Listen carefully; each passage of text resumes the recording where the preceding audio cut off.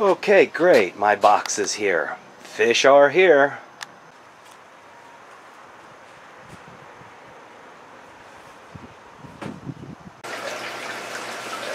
It would appear as though the movie Finding Nemo was kind of a double-edged sword for the aquarium hobby.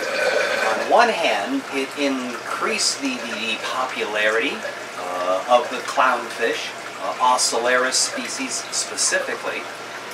On the downside, so many collectors and distributors got involved that of late you can't buy healthy, wild-caught uh, Ocellaris clownfish. Nemos, or also called the common clown.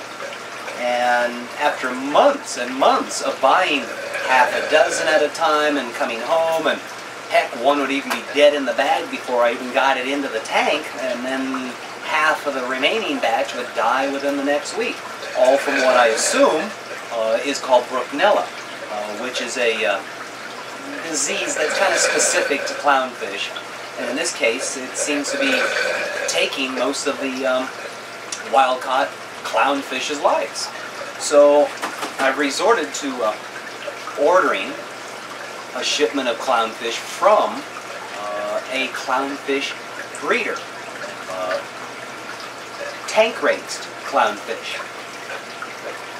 And so we're in the process now of having received that box and just starting to put uh, the bags of fish away, or at least begin to acclimate those fishes. Acclimate means allowing them to adjust from one environment to another environment over a particular period of time.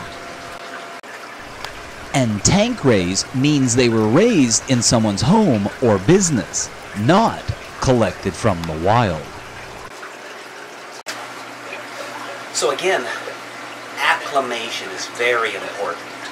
And so what we've decided to do, because we have so many individual bags, keep in mind there's 24 clownfish here, all individually bagged.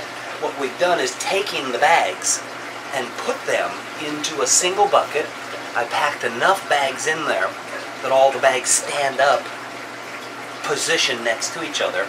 I'm then going to go and cut the tops of the bags and slowly invert that bag so that there's almost a, a, a, space, a void supported by the other bags that I'm dumping that fish and his water into that particular little void.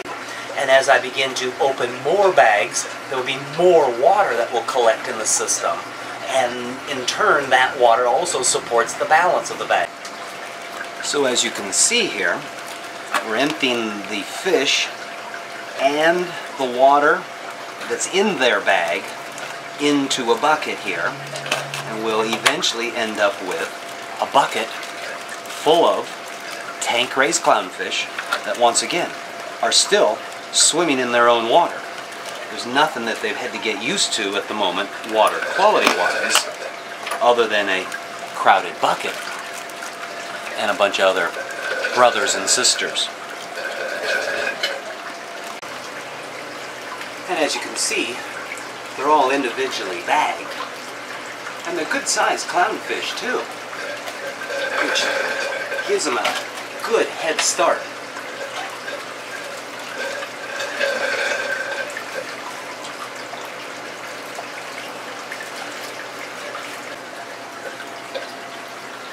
And as you can see, there's a whole bunch of clownfish there.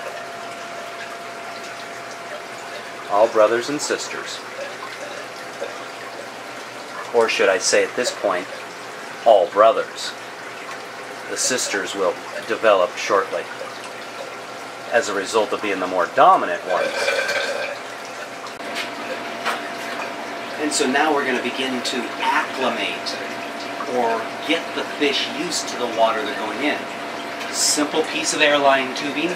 I've got a fitting connected at one end. I'm going to put that end of the hose with a fitting in the tank I want to draw the water from. And with a simple little draw on the end of the hose, I have a siphon started.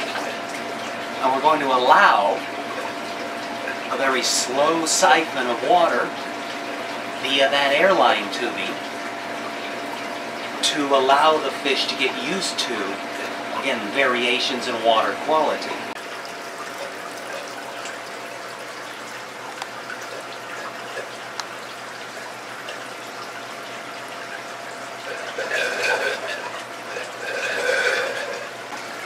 We've actually started and stopped the siphon a few times. We don't want to overwhelm the fish immediately with all new water. We want to add little bits of water at a time. Again, the word is acclimate or to acclimatize to allow the fish to get used to the new environment. And so we're going to do that little bits at a time. Now I'm going to start the siphon once again.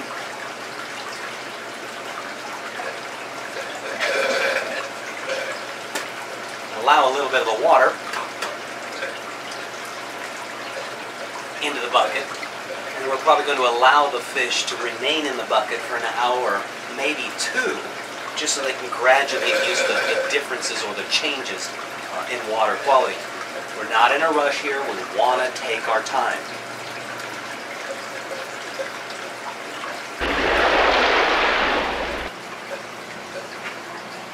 So our clownfish have been acclimating for a good couple of hours now, and I think it's ready to move them up into their uh, tank.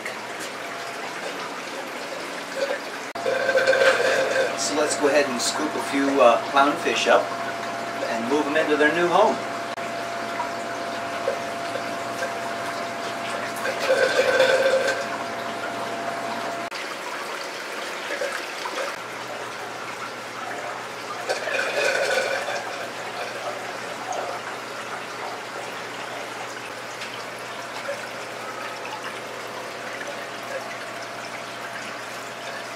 That's a lot of clownfish.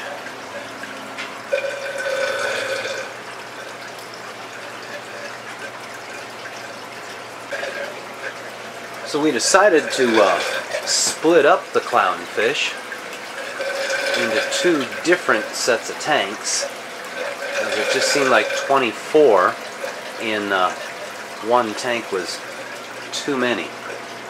So we've uh, split them up 12 and 12 had to move some of the inhabitants of this tank out because too many fish made the uh, longhorn cowfish nervous. We'll now go ahead and hold these clownfish for at least two weeks before we offer them for sale. 18 of the 24 are already intended for the big cylinder tank. And assuming they do well, tank raised clownfish will become my new source for Nemos.